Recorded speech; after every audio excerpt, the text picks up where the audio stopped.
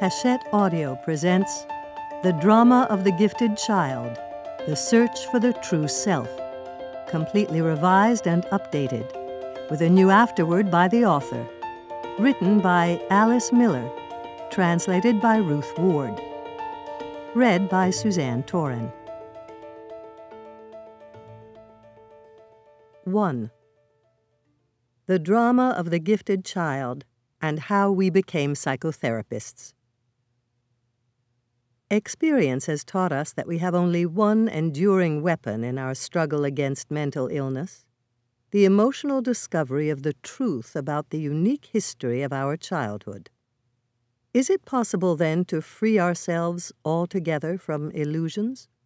History demonstrates that they sneak in everywhere, that every life is full of them. Perhaps because the truth often seems unbearable to us. And yet, the truth is so essential that its loss exacts a heavy toll in the form of grave illness. In order to become whole, we must try, in a long process, to discover our own personal truth, a truth that may cause pain before giving us a new sphere of freedom. If we choose instead to content ourselves with intellectual wisdom, we will remain in the sphere of illusion and self deception. The damage done to us during our childhood cannot be undone, since we cannot change anything in our past. We can, however, change ourselves.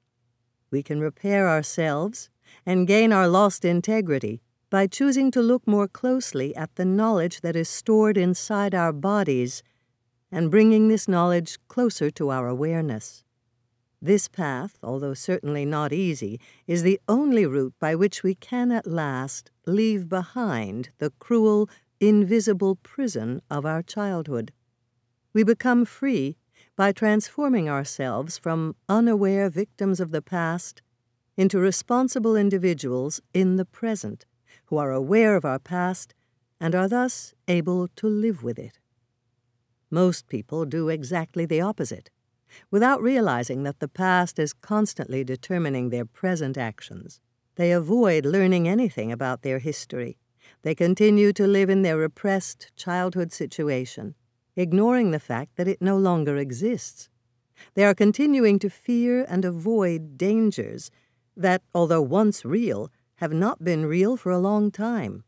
They are driven by unconscious memories and by repressed feelings and needs that determine nearly everything they do or fail to do. The repression of brutal abuse experienced during childhood drives many people to destroy their lives and the lives of others.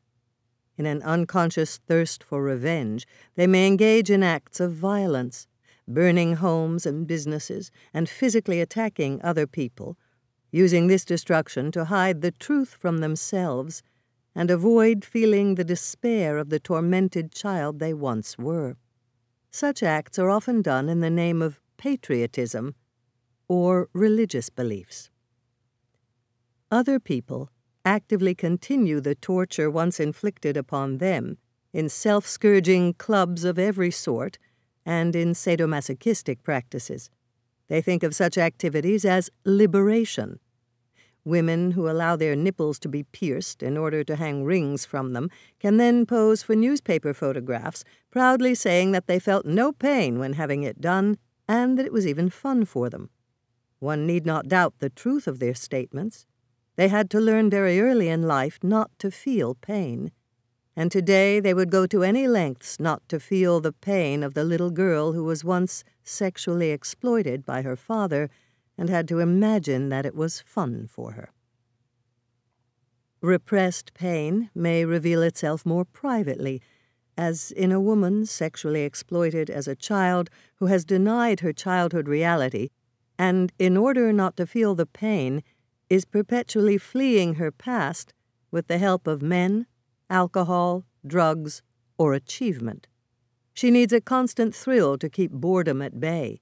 Not even one moment of quiet can be permitted during which the burning loneliness of her childhood experience might be felt, for she fears that feeling more than death.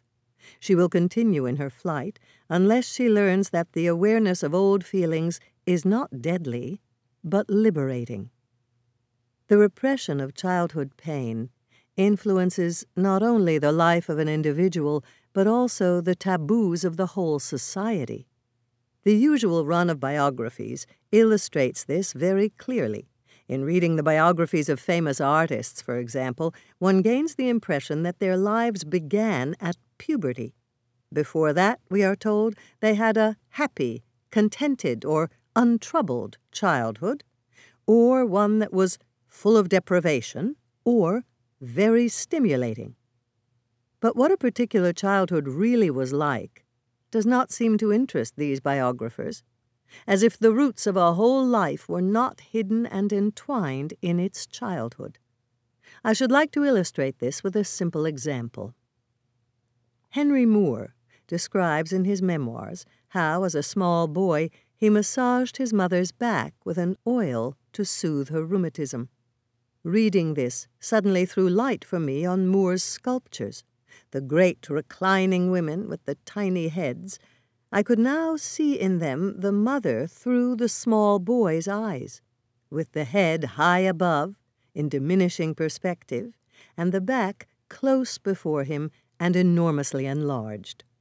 This interpretation may be irrelevant for many art critics, but for me it demonstrates how strongly a child's experiences may endure in his unconscious and what possibilities of expression they may awaken in the adult who is free to give them rein. Now, Moore's memory did not concern a traumatic event and so could survive intact.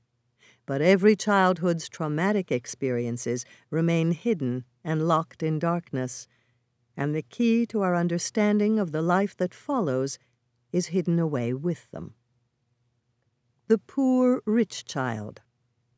I sometimes ask myself whether it will ever be possible for us to grasp the extent of the loneliness and desertion to which we were exposed as children. Here I do not mean to speak primarily of children who were obviously uncared for or totally neglected, and who were always aware of this, or at least grew up with the knowledge that it was so. Apart from these extreme cases, there are large numbers of people who enter therapy in the belief with which they grew up that their childhood was happy and protected.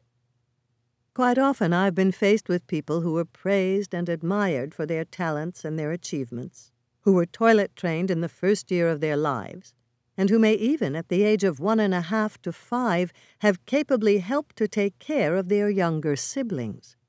According to prevailing attitudes, these people, the pride of their parents, should have had a strong and stable sense of self assurance. But the case is exactly the opposite. They do well, even excellently, in everything they undertake. They are admired and envied. They are successful whenever they care to be. But behind all this lurks depression, a feeling of emptiness and self alienation, and a sense that their life has no meaning. These dark feelings will come to the fore as soon as the drug of grandiosity fails, as soon as they are not on top, not definitely the superstar, or whenever they suddenly get the feeling they have failed to live up to some ideal image or have not measured up to some standard. Then they are plagued by anxiety or deep feelings of guilt and shame. What are the reasons for such disturbances in these competent, accomplished people? In the very first interview, they will let the listener know that they have had understanding parents, or at least one such, and if they are aware of having been misunderstood as children, they feel that the fault lay with them and with their inability to express themselves appropriately. They recount their earliest memories without any sympathy for the child they once were and this is the more striking as these patients not only have a pronounced introspective ability, but seem to some degree to be able to empathize with other people. Their access to the emotional world of their own childhood, however, is impaired, characterized by a lack of respect, a compulsion to control and manipulate, and a demand for achievement. Very often they show disdain and irony even derision and cynicism for the child they were. In general, there is a complete absence of real emotional understanding or serious appreciation of their own childhood vicissitudes, and no conception of their true needs, beyond the desire for achievement. The repression of their real history has been so complete that their illusion of a good childhood can be maintained. We hope you enjoyed this preview. To continue listening to this audiobook on Google Play Books, use the link in the video description.